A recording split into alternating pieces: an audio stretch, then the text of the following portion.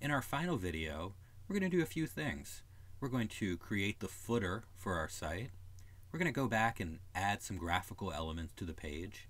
And finally, we're going to export our wireframe as an image that can easily be shared with other people. So let's go ahead and get started. Let's take a look at our sketch. You'll see that um, at the very bottom we have a footer we need to add. It should have a black background. It needs to have a newsletter sign up box. Should have the Condé Nast logo and a little bit of small print. And then finally we're going to add in some um, social media icons that will allow people to follow Vanity Fair. Let's go back to XD and we'll go ahead and just create a black block at the bottom of our page. That'll be our footer. And another thing we can do now is we can just go ahead and make this page a lot shorter because we don't need it to be 5,000 pixels in this case. We can just crop up to right there. Okay, so let's work on the newsletter sign up box first. We just need to type in a little bit of text here that says, where did my text go? All right, is it here? Okay. so let's make that white so we can actually see it. Okay, so we'll say news, newsletter, sign up, make that a little smaller.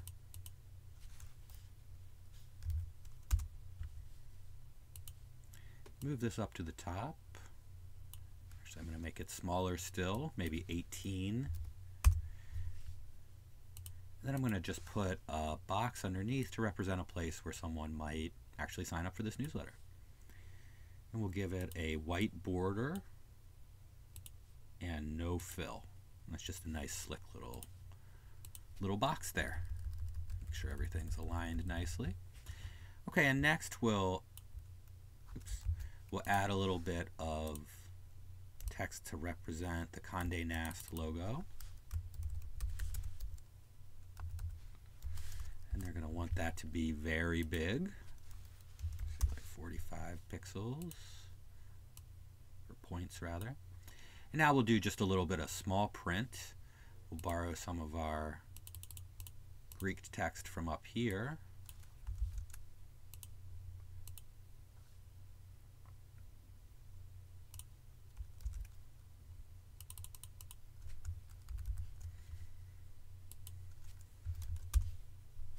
Hmm, maybe a little bigger than that.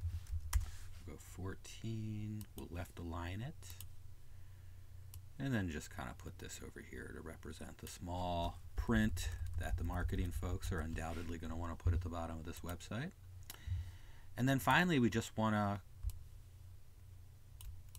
give people some places to follow us on social media. So we'll put this follow button and we're going to want to come back and put in a few social media icons here in just a moment. We also want to put some social media icons up here um, at the top of our document.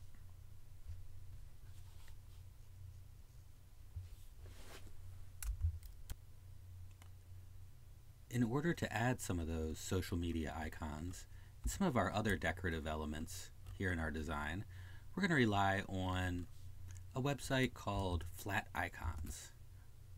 So this is called flaticon.com.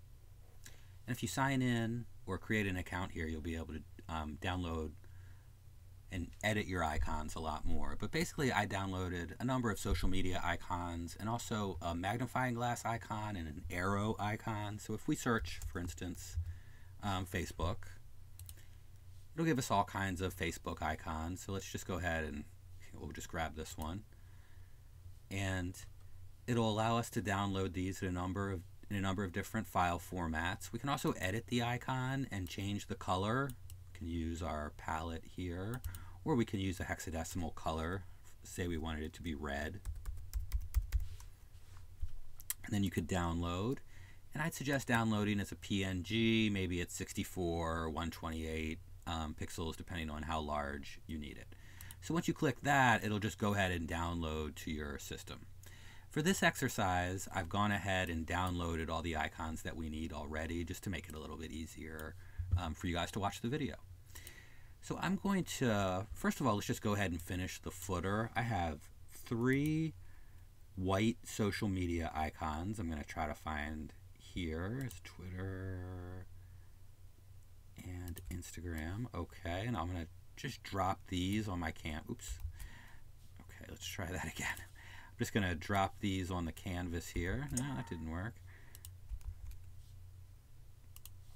Let's try this again. Let's just do one at a time. Okay, so there is our Twitter logo, which we need to get on our black background. Lovely. Okay, now let's try the Instagram logo. Okay. Bring that down and put it next to it. And finally, we will add our Facebook logo. A lot bigger, so we need to size that down. Make it match the rest of them. Okay, and it'd probably be pretty typical to see Facebook first. Make that a little smaller. And then Twitter. And then Instagram.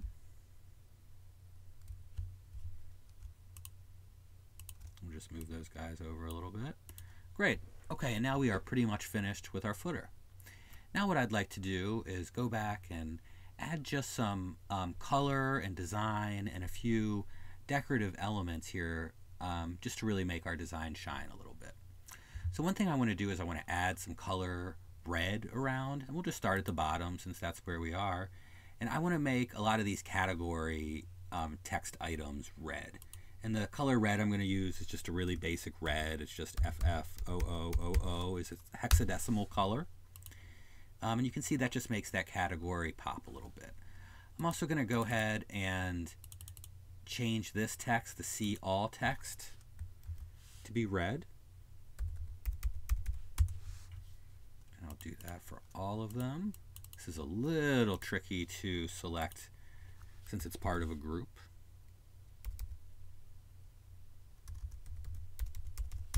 There we go. One more.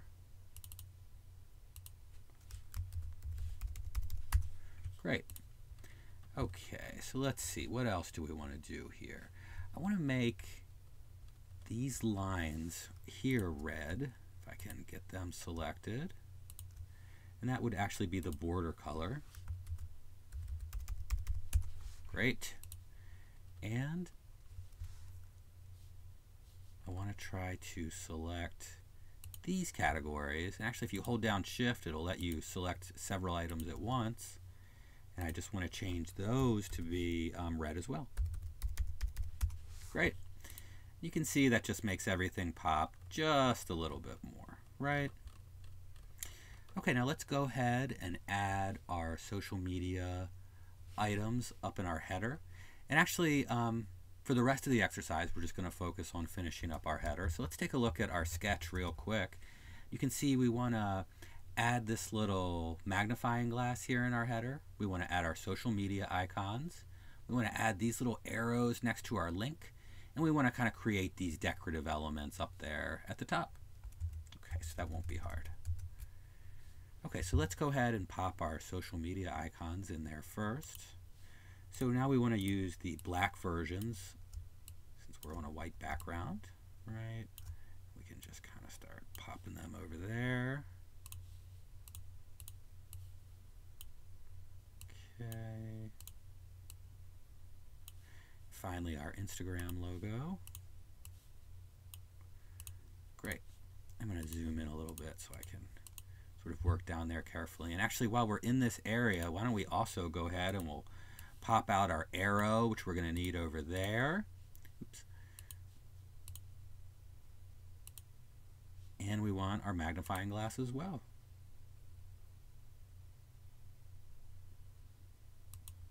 Doesn't look like I grabbed. Here it is. Okay, great.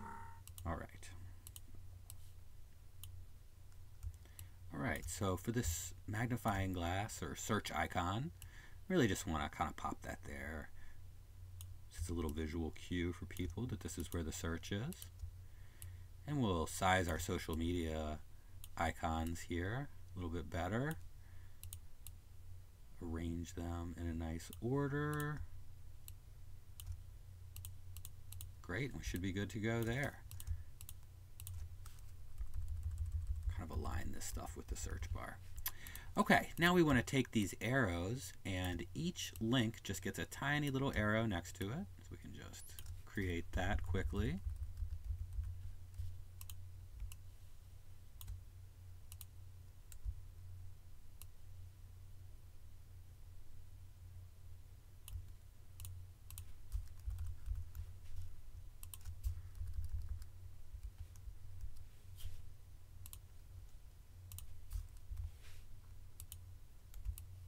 All right, and there we are with our arrows.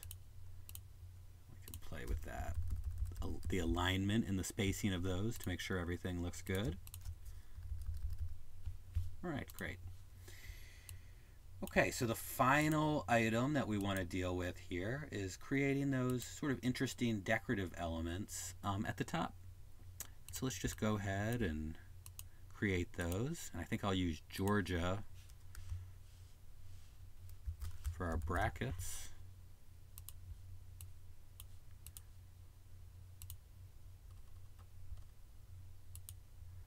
Okay, let's just make those really big, right?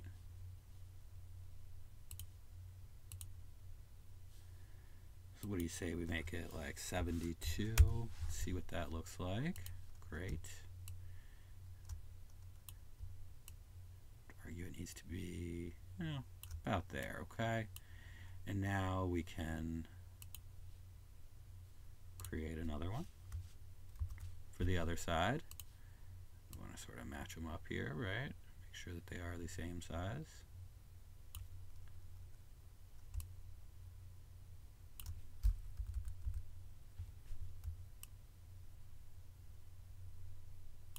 Okay, great. Now we can just separate these guys a little bit. And the idea was to put a little bit of type here in the middle.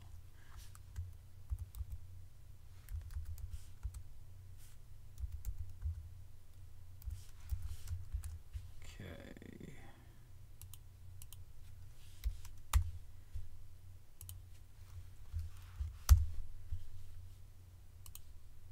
Just resize all of this, make it look nice.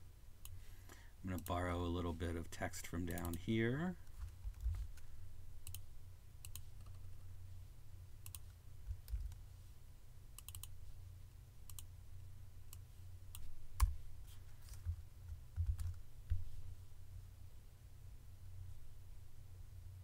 Change the styling a bit.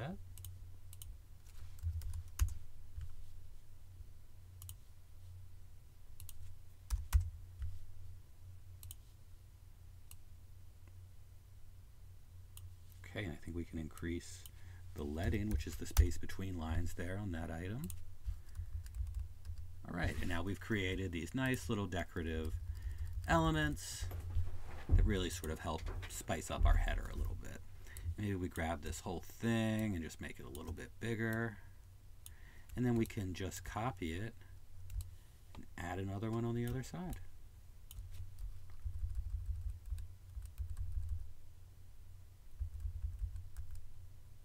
Great.